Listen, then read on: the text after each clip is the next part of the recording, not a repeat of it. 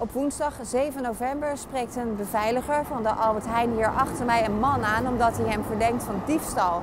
Nou, die man die voelt zich kennelijk betrapt, want hij reageert ontzettend agressief en gewelddadig. En op zo'n manier dat de politie er inmiddels alles aan gelegen is om deze man op te pakken.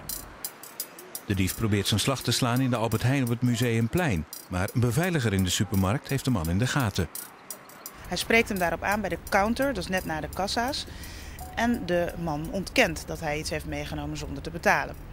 De beveiliger van Albert Heijn vertrouwt het niet en loopt weg om beelden te bekijken. Op de beelden ziet de beveiliger dat de man een fles wijn pakt en die vervolgens niet afrekent. Nadat de beveiliger de beelden heeft bekeken, ziet hij de man nog steeds als verdachte.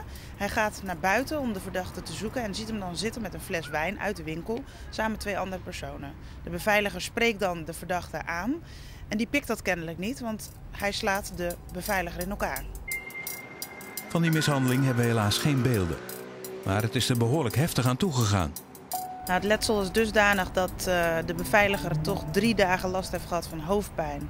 Hij had meteen na het incident een bloedneus en uh, rode ogen. We laten u de beelden van de man nogmaals zien. Het is een Engelstalige man.